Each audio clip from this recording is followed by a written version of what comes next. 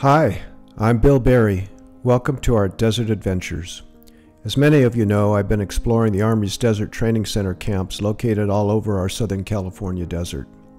Many people are unaware of the fact that there's a naval equivalent of those camps situated along the southwest side of the Salton Sea. Known today as the Salton Sea Test Base, this abandoned facility was the site of numerous military activities beginning in 1940 and continuing until 1987. The base was originally established for World War II seaplane training, but the Salton Sea was also great for dive bomber training, torpedo training, and it was even used for testing of parachute landing systems of the Project Mercury space capsules. I took my friends Jeff Mueller and Jim Gilmore out to the Salton Sea test base so that we could explore the area. The first thing we did was check out a crash site from a T-38. On January 3, 1966, one of the Air Force's top test pilots, Captain George Merritt, hit a guy wire on a radio tower near Kane Springs on Highway 86. He ejected from his crippled T-38 and it crashed moments later in the vicinity of Airport Number 3 of the Salton Sea Test Base. Not much is left of George Merritt's jet. We found the wheel, a little bit of a jet engine, and hiked around for a little bit and found various parts.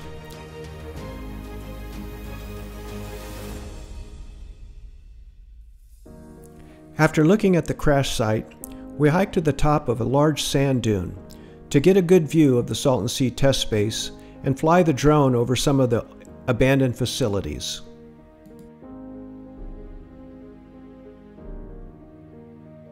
One of the things that is really cool about this spot is how isolated it is. Yeah. Right? If you if you go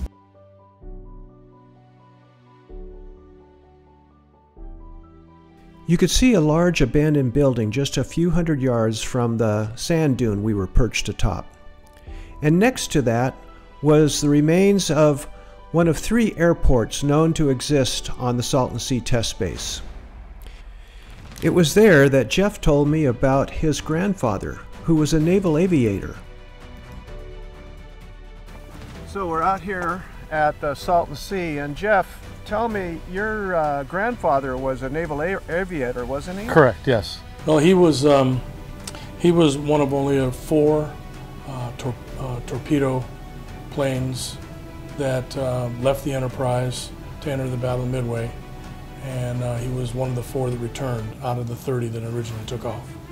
On June 6, 1942, Lieutenant Harry Mueller and his two crewmates launched from the USS Enterprise in an effort to stop the Japanese fleet at the Battle of Midway. The TBD Devastator was an obsolete plane, but it was the only torpedo bombers that they had for that battle.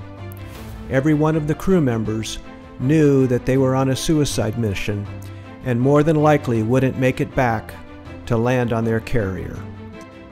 He was he was a career Navy man. Yes. Well, Harry did make it back, and he rose to the rank of lieutenant commander in the United States Navy. I can see up above us that you've got a sword mounted. Right. And is that the sword of your grandfather? Yes, that was the sword that he was given when he was got his first officer's commission. Ah, These were true American heroes. They knew what they were up against, they knew they had to take the risk, and off they went. Here's a description by one of the pilots. It would perform moderately sharp turns, but I wouldn't roll or spin it. Its glide ratio was rather short, and although it was modern in 37, it was obsolete by 1942, and, well, we knew it. What a unique connection to the training that went on in the Salton Sea test base. So from here, we headed on into the test base itself. When we got to the main paved road that normally takes you into the test base, it looked like it had been covered with sand. As a matter of fact, the sand kept growing and growing and growing. At one point, I actually stopped on the side of a sand dune that was probably 10 foot high, lowered the air pressure in the tires, and took the chance of making it over the top. Because of the constant fluctuation of the sea levels in the 1940s, the Navy built a dike all around the facilities of the test base. When we drove in, we came in on top of one of those dikes.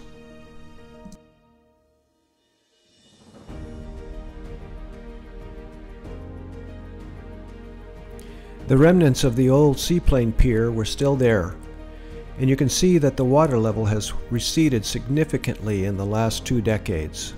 Just to the north of the pier were two buildings. One was an old electrical building, and the other was a building designed to hold cameras to film rocket testing and the dropping of atomic bombs. Here's what's left of the mounts where the cameras sat to film the tests. Once we had explored the camera building, we headed out looking for the ammo bunkers that I had seen on Google Earth.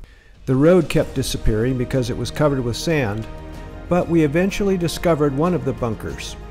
As you can see here, it's got a large concrete slab in front of the main door. This is used to deflect a blast in case there's an explosion of the ammo. When we looked inside, I could see there was a lot of sand and it looked cool inside. For those of you who don't know, Jeff does not like snakes. And when I walked up and I said, boy, this looks like great Sidewinder habitat, he immediately refused to enter the bunker to take a look around. I walked on in to film the back of the ammo bunker and look for the Sidewinders or any evidence of animals that might be living in there. It looked like there might have been a pack rat or two, but that was about it. Well, we hiked to the top of the bunker just to get a look around. And in all directions, you could see concrete slabs and the remnants of this old base. And you realize there was a huge amount of history here. Well, as you can see, there's still a lot to learn about the Salton Sea Test Base. It has a history of over 40 years of activity from 1942 to 1987. From seaplane training to dive bomber training to torpedo training hitting targets with an atomic bomb from 35,000 feet, testing parachutes for the Project Mercury capsules. There's so much to learn about the Salton Sea Test Base, and I plan on coming back to explore even more of it. If you like this video, make sure to subscribe to my channel. We look forward to seeing you again in our next episode.